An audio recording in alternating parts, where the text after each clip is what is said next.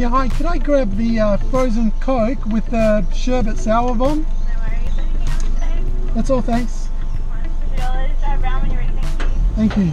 Thank you. So we have the Hungry Jacks frozen Coke with a sherbet sour bomb. Let's take a bit of a look at this. Yeah, it just says sherbet doctor on the packet. Looks kind of like a test tube. Let's open it up. Oh, it's definitely got a fruity smell to it. And I guess you're supposed to pour this into your drink. But uh, before we do that, let's just have a little bit of a taste of this straight out of the container.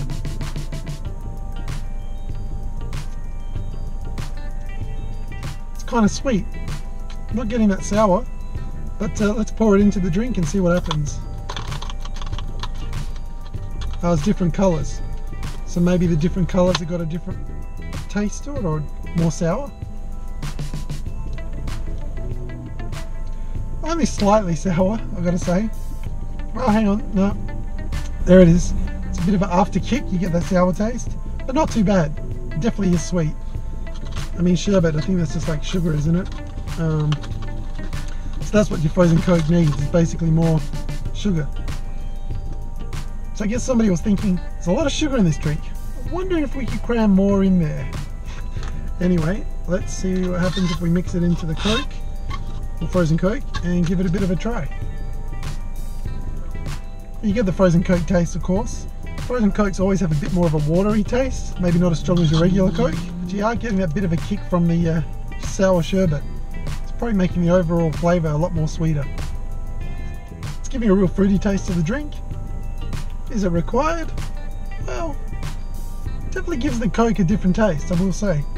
And, you know, you are going for a dessert type of drink when you get a frozen Coke. You're not getting this really to quench your thirst.